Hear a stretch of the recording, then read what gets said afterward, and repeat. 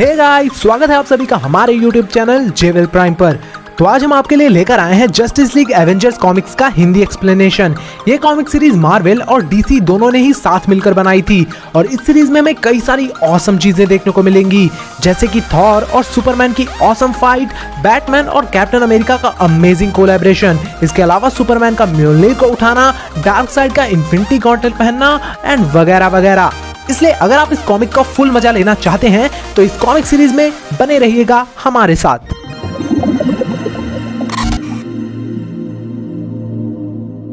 तो हमारी कहानी की शुरुआत होती है पोलेमैचस नाम के एक प्लेनेट से। ये प्लेनेट अपने युद्ध, कौशल और कॉम्बैट स्किल्स के लिए जाना जाता था और यहाँ रहने वाले ज़्यादातर लोग वॉरियर्स थे। लेकिन आज ये सारे के सारे लोग सेलिब्रेशन कर रहे होते हैं। हर तरफ़ बस जश्न और खुशियों का ही माहौल था। पर तभी पूरे प्लेनेट का रंग लाल होने लगता है और वहाँ पर एक बड़ी सी परछाई आ जाती है, जो पूरे प्लेनेट को घेर लेती है। वो परछाई उस प्लेनेट पर मौजूद सभी लोगों के दिमाग में घुसकर उनसे एक ही सवाल पूछ रही होती है कि आखिर वो क्या है? कौन सा रहस्य है वो? क्या है वो सत्य? दरअसल ये परछाई अपने किसी सवाल का जवाब ढूंढ रही होती है, लेकिन उस परछाई को यहाँ पर अपने सवाल का जवाब नहीं मिलता, और इसीलिए वो इस पूरे प्लेनेट को यहाँ तक कि उस पूरे यूनिवर्स को ही तबाह कर देता है। अब हम देखते हैं किसी दूसरे प्लेनेट को, जो कि डीसी के मेन यूनिवर्स यानी कि प्राइम अर्थ का एक अल्टरनेट वर्जन होता है। और यहाँ पर जितने भी सुपर हीरोज थे, वो सारे के सारे इविल होते हैं। वो बिल्डिंग्स और शहरों को तबाह करके अपना इंटरटेनमेंट किया करते थे, और इस टाइम भी वो सारे सुपर हीरोज यही कर रहे होते हैं। लेकिन यहाँ पर भी वो परछाई आ जाती है, और सबके दिमाग में घुसकर वही सवाल दोहराती है कि आखिर वो क्या है? कौन सा रहस्य है वो? क्या है वो सत्य? पर इस यूनिवर्स में भी किसी के पास उसके सवालों का जवाब नहीं था। इसीलिए वो इस पूरे यूनिवर्स को तबाह कर देता है और निकल पड़ता है किसी दूसरे यूनिवर्स की तलाश में। अब हम आते हैं मार्वल यूनिवर्स में और देखते हैं ग्रैंड मास्टर को, जो कि पूरे कॉस्मोस के सबसे प्राचीन जीवों में से एक है और इसके पास बहुत सारी पावर्स हैं। इसका सस्ता वर्जन आपने थॉर रैग्नारॉक में भी देखा होगा। ग्रैंड मास्टर को बड़े बड़े गेम्स खेलने में बहुत ही ज़्यादा मज़ा आता था। उसने अरबों साल पहले अपने एक भाई से कोई शर्त लगाई थी और आज उसका आउटकम आने वाला था। ग्रैंड मास्टर उसी चीज़ को देख रहा होता है, पर तभी वहाँ पर वही परछाई आ जाती है और ग्रैंड मास्टर को नीचे गिरा देती है। ग्रैंड मास्टर समझ जाता है कि ये परछाई बहुत ही ज़्यादा खतरनाक है और ये पूरे यूनिवर्स को खत्म कर सकती है। ग्रैंड मास्टर उस परछाई से कहता है कि मैं तुम्हें अपना यूनिवर्स तबाह करने नहीं दूँगा। मेरे सामने आओ और मुझे बताओ कि आखिर तुम्हें क्या चाहिए। ग्रैंड मास्टर की बात सुनकर वो परछाई अपने ह्यूमन फॉर्म में आ जाता है। वो बताता है कि मेरा नाम है क्रोना और मैं किसी परम सत्य की तलाश कर रहा हूँ और ये सत्य जानने से मुझे कोई भी नहीं रोक सकता। एक महीने बाद, अब हम देखते हैं अपनी जस्टिस लीग की टीम को, जो कि टर्मिनस नाम के एक बहुत ही पावरफुल विलेन का सामना कर रही होती है। दरअसल ये विलेन मार्वल यूनिवर्स से आया होता है। ये विलेन इतना ज़्यादा पावरफुल था कि Superman Wonder Woman Green Lantern Flash Aquaman Martian Manhunter Plastic Man और बैटमैन ये सारे के सारे मिलकर भी उस विलेन का सामना नहीं कर पा रहे थे। टर्मिनस के पास एक जादुई छड़ी थी, जिससे कि वो जस्टिस लीग पर भारी पड़ रहा होता है। बैटमैन ये सारा नज़ारा काफ़ी देर से देख रहा होता है और फिर वो एक प्लान बनाता है। सारे सुपर हीरोज अलग अलग डायरेक्शन में जाते हैं और प्लास्टिक मैन टर्मिनस के पूरे मुँह को ढक देता है। इन सब चीज़ों से टर्मिनस को लगता है कि ये सारे सुपर हीरोज उसकी जादुई छड़ी चुराना चाहते हैं और इसी वजह से वो खुद पर ही हमला कर देता है और वहीं पर मारा जाता है। बैटमैन का प्लान सक्सेसफुल हो जाता है, पर तभी हम देखते हैं कि आसमान में एक नीले कलर की रोशनी दिखाई देती है। टर्मिनस की बॉडी वहाँ से गायब होने लगती है। हम देखते हैं कि वहाँ पर हेल जॉर्डन होता है, जो कि एक टाइम पर ग्रीन लैंटर्न हुआ करता था, लेकिन अब वो बहुत ही ज़्यादा पावरफुल हो चुका है और उसे अब जाना जाता है स्पेक्टर के नाम से। स्पेक्टर टर्मिनस की बॉडी को वहाँ से टेलीपोर्ट कर देता है। अब हम देखते हैं एवेंजर्स को, जो कि स्टारफिश नाम के एलियन का सामना कर रहे होते हैं। और ये एलियन आया है डीसी यूनिवर्स से। इसे आपने सुसाइड स्क्वाड मूवी में भी देखा होगा। ये एलियन अपने अंदर से छोटे छोटे जीवों को निकालता है, जो कि लोगों के चेहरे से अटैच हो जाते हैं, और फिर वो लोग स्टारफिश के गुलाम बन जाते हैं। एवेंजर्स के कई सारे मेंबर्स जैसे कि शी हल्क क्विक सिल्वर और बहुत सारे लोग इस स्टार फ़िश के कंट्रोल में आ चुके थे। देखते ही देखते थॉर भी स्टार फ़िश के कंट्रोल में आ जाता है, और बिना थॉर के एवेंजर्स की टीम काफ़ी ज़्यादा कमज़ोर पड़ जाती है। तब वॉन्डा यानी कि स्कारलेट विच ये फैसला करती है कि वो स्टार फ़िश से पहले कनेक्ट हो जाएगी और फिर बाद में अपने क्योस मैजिक का यूज़ करके उसे ही कंट्रोल कर लेगी। पर यह काम इतना आसान नहीं था, लेकिन फिर भी वॉन्डा इसके लिए तैयार थी। वो स्टारफिश के कंट्रोल में आ जाती है और अपने क्योस मैजिक का यूज़ करती है। और काफ़ी मशक्कत के बाद वो फाइनली स्टारफिश को कंट्रोल कर लेती है और अर्थ से बाहर भेज देती है। स्टारफिश के जाते ही उसके छोटे जीव ज़मीन पर गिर जाते हैं और जितने भी एवेंजर्स स्टारफिश के कंट्रोल में थे, वो आज़ाद हो जाते हैं। जब वांडा ने स्टारफिश को कंट्रोल किया था, तब उसे ये पता चल गया था कि ये जीव इस यूनिवर्स का नहीं है, बल्कि किसी दूसरे यूनिवर्स का है। अब सारे एवेंजर्स ये पता लगाने की कोशिश करते हैं कि आखिर ये सब चल क्या रहा है। उधर जस्टिस लीग को भी पता चल चुका था कि ये टर्मिनस उनके यूनिवर्स का नहीं है। इसीलिए वो फ्लैश को उस यूनिवर्स यानी कि मार्वल यूनिवर्स में भेजते हैं, ताकि वो पता लगा सके कि आखिर माजरा क्या है। फ्लैश अब आ चुका था मार्वल यूनिवर्स में, और उसे यह दुनिया काफ़ी ज़्यादा अजीब लग रही होती है। तभी फ्लैश देखता है की कुछ लोगों की भीड़ एक म्यूटेंट को मारने की कोशिश कर रही होती है, और वो म्यूटेंट उनसे बचने के लिए भाग रहा होता है। दरअसल मार्वल यूनिवर्स में जितने भी ह्यूमंस होते हैं वो म्यूटेंट से काफ़ी ज़्यादा नफरत किया करते थे और उन्हें ज़िंदा ही जला देते थे। वो भी सिर्फ़ इसलिए क्योंकि म्यूटेंट्स इंसानों से अलग होते हैं। फ्लैश लोगों की भीड़ को रोकने की कोशिश करता है।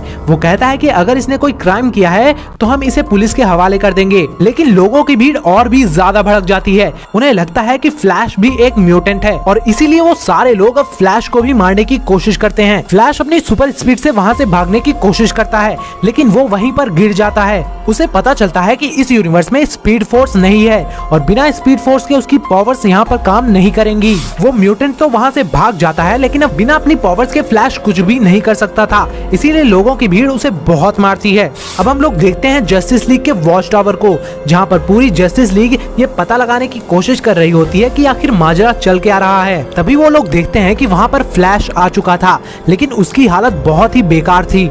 फ्लैश जस्टिस लीग को पूरी बात बताता है। तभी मार्शन मैन हंटर सबसे कहता है कि कोई हमें देख रहा है। तभी पूरी जस्टिस लीग देखती है कि वहाँ पर है वॉचर।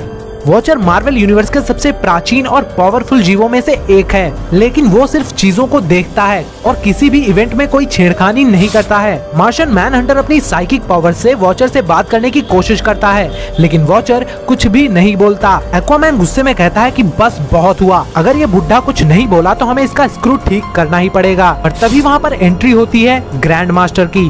वो जस्टिस लीग से कहता है कि वॉचर की चिंता मत करो। वो कुछ भी नहीं करेगा। वो सिर्फ़ चीज़ों को ऑब्ज़र्व करता है। ग्रैंड मास्टर को देखते ही ग्रीन लैंटर्न उसे कैद कर देता है। सुपरमैन ग्रैंड मास्टर से पूछता है कि आखिर तुम कौन हो और हमारे यूनिवर्स में क्या कर रहे हो? तब ग्रैंड मास्टर बताता है कि मेरा नाम है ग्रैंड मास्टर और मैं यहाँ पर तुम्हारे यूनिवर्स को बचाने के लिए आया हूँ। मैं तुम्हें कोई बहुत ही इम्पोर्टेंट चीज़ बताने वाला हूँ। सुपरमैन मार्शन मैन हंटर से पूछता है की क्या ये सच कह रहा है? तब मार्शन मैन हंटर कहता है की मुझे माफ़ करना, मैं इसके दिमाग में नहीं झाँक पा रहा हूँ। तब वंडर वुमन कहती है की कोई बात नहीं, मेरी लासो ऑफ़ ट्रूथ से कोई नहीं बच सकता। ग्रैंड मास्टर इस चीज़ के लिए मान जाता है। वो कहता है कि अब तुम लोग मान गए होगे कि मैं सच बोल रहा हूँ। मैं यहाँ पर तुम्हें एक बहुत ही बड़े खतरे की चेतावनी देने आया हूँ।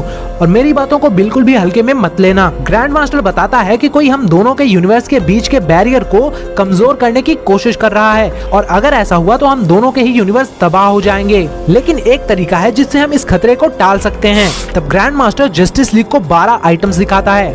ये बारहों चीज़ें बहुत ही ज़्यादा पावरफुल होती हैं, जिनमें से छह चीज़ें मार्वल यूनिवर्स की और छह चीज़ें डीसी यूनिवर्स की थी। ग्रैंड मास्टर कहता है कि अगर हमने इन्हें इकट्ठा नहीं किया तो अरबों लोग मारे जाएँगे। इन बारहों चीज़ों में हम लोग देखते हैं Infinity Stone eternity book Green Lantern की power battery Spear of Destiny Medusa mask the bell wheel and jar orb of Ra और इन सब के अलावा और भी कई सारी चीज़ें जो कुल मिलाकर 12 आइटम्स थे। ग्रैंड मास्टर बताता है कि ये बारहों के 12 आर्टिफैक्ट्स बहुत ही ज़्यादा पावरफुल हैं और अगर हमने इन्हें इकट्ठा कर लिया तो हम आने वाले खतरे को पूरी तरीके से रोक देंगे। ग्रैंड मास्टर उन बारहों आर्टिफैक्ट्स के लोकेशन जस्टिस लीग के हर मेंबर के माइंड में प्लेस कर देता है। ग्रैंड मास्टर जस्टिस लीग से कहता है कि इन आइटम्स को जल्द से जल्द इकट्ठा कर लो। इससे पहले कि तुम्हारी अपोजिट टीम उन्हें हासिल कर ले।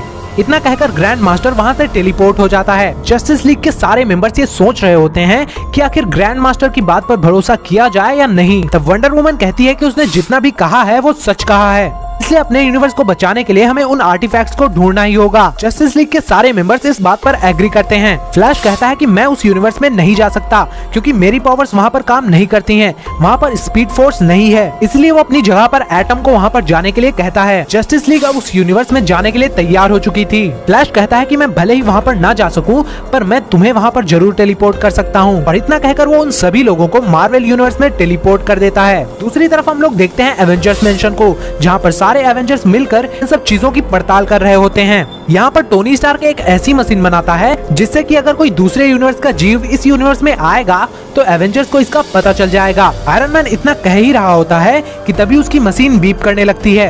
आयरन मैन कहता है कि हम जिस किसी की भी तलाश कर रहे हैं, वो यहाँ आ चुका है। और तब हम लोग देखते हैं जस्टिस लीग को, जो कि मार्वल यूनिवर्स में इंटर कर चुकी थी। वो सारे लोग ये डिसाइड करते हैं कि वो लोग ग्रुप्स में डिवाइड हो जाएँगे और इस पूरी अर्थ को ऑब्ज़र्व करेंगे। बैटमैन कहता है कि हम लोग सिर्फ़ चीज़ों को ऑब्ज़र्व करेंगे।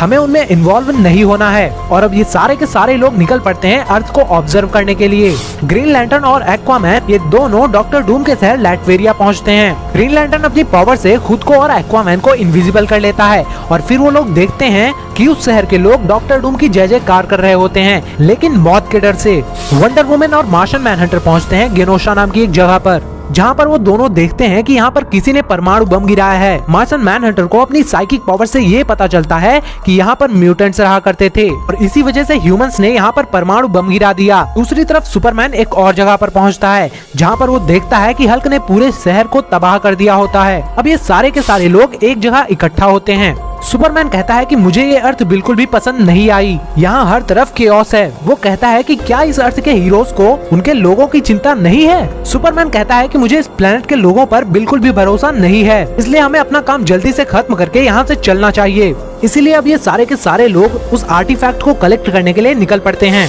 तभी इन लोगों के सामने बहुत बड़े बड़े मॉन्स्टर्स आ जाते हैं, जो कि उस आर्टिफैक्ट की रक्षा कर रहे होते हैं। लेकिन जस्टिस लीग की टीम उन्हें बड़े ही आराम से हरा देती है और एक आर्टिफैक्ट कलेक्ट कर लेती है। मार्शन मैन हंटर बताता है कि ये बहुत ही पावरफुल वेपन है। इससे पूरा यूनिवर्स तक तबाह हो सकता है, पर तभी उस आर्टिफैक्ट पर एक एरो आकर लगती है और वो लोग देखते हैं कि उनके सामने है एवेंजर्स